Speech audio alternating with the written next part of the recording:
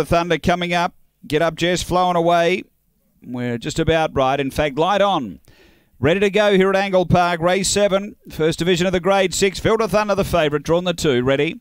Racing, Field Filter Thunder step well. It's pushing up to look for the lead and get it clearly. Oh, Filter Thunder away by four to the first bend, and they jammed in behind it as well. Uh, make it seven or eight lengths to the back now, this leader. Van Zandt second, then Spring Bruiser flowing away. Behind those, my name's Haley. Game over and get up, but down the back, it's all Field Filter Thunder. Out by nine lengths on Van Zandt. Three away, Spring Bruiser. Uh, then came flowing away, but straightening Field Filter Thunder, a massive leader. Van Zandt trying to uh, bridge the margin a bit, but Thunder went on to win it by six. Second is Van Zandt. Third is Spring Bruiser. And fourth home is Flown Away.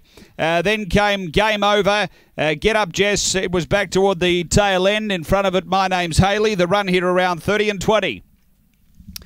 After race number seven. And uh, Filter Thunder bolting in. Had a brilliant start. Was able to hustle through in 442 set up a uh, four or five length lead in the early part, and then uh, the others collided into each other around the bend and was able to slip further away. Number two, Filter Thunder, Philip Emrose, owner trainer. Uh, a Black Dog, May 2016, Barcia Bale, Striking Viking. Number two, Three Van Zandt, second. Ben Rawlings, uh, a Brindle Bitch, October 2016, Kinloch Brae. Betty Baker and the late male at Big Odds, uh, Spring Bruiser in third spot. Uh, a Brindle Dog, December 2015. Javatar, Dinah Ginny, Les Bates. It's 2 3 1, 5 4th after race 7 here at Angle Park.